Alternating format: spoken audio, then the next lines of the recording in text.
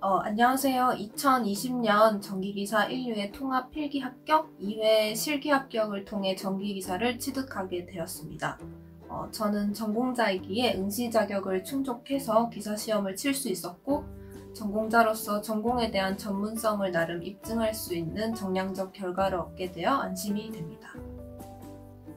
시험에서 인상적이었던 순간은 전기 자기약 필기 시험에서 전개와 전위에 대해 외웠던 공식이 순간적으로 기억이 나지 않아 당황스러웠는데 강의에서 단위를 정확하게 알고 꼼꼼히 외우라고 하시었기에 문제 풀 때 공식은 기억이 안 나도 문제에서 묻는 답의 단위를 추려서 단위로만 정답을 맞췄던 것이 전기기사 필기 시험을 치면서 인상적이었던 기억이었습니다.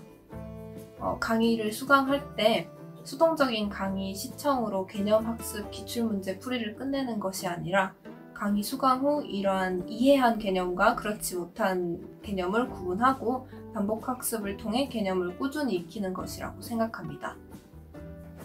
제가 추천하는 공 방법은 제가 아는 것과 모르는 것만 어, 구분해서 따로 정리하는 학습법인데요. 저는 필기 시험 때 이렇게 노트 두 권에 각 과목별로 강의를 수강하고 전공을 통해 이미 알고 있는 내용은 빼고 제가 모르는 개념만 정리해서 반복적으로 볼 수 있게 노트에 정리했습니다. 그리고 기출문제 중에 두 번 이상 틀린 문제만 정리해서 이것도 반복적으로 보면서 이해를 위해 노력했습니다. 그래서 필기 과목 다섯 과목을 이 노트 두 권에 정리해서 이것만 계속 봤고요.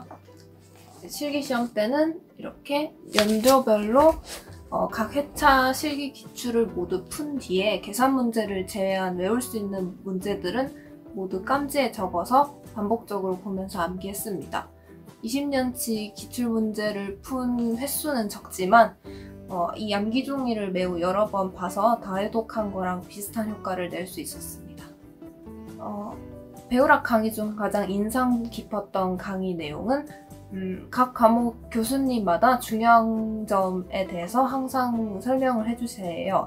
또 안 나오거나 중요도가 현저히 낮은 부분도 다 알려주시니까 이런 점에서는 저는 윤성만 기술사님의 전기기사 필기 강의인 회로이론, 제어공학, 전력공학 그리고 실기 필 강의인 단답형 문제 강의가 특히 아주 많은 도움이 되었습니다. 자격증 취득이라는 성과를 결과적으로 이루어내기는 했지만 어, 공부하는 과정에서 실기 시간이 너무 부족해 스트레스를 많이 받았던 시간이었습니다. 전기기사 동해차 합격을 바라고 계시는 분들은 필기가 끝나자마자 혹은 필기 기출 점수가 평균 80점 이상 안정권이라면 하루빨리 실기 공부를 시작하고 실기 기출을 꼼꼼하게 공부할 수 있는 여유 기간을 실기 공부 계획을 세울 때 염두에 두고 공부하셔서 전기기사 꼭 합격하시기 바랍니다. 감사합니다. 어, 전기기사 수험생 여러분들의 합격을 기원합니다. 화이팅!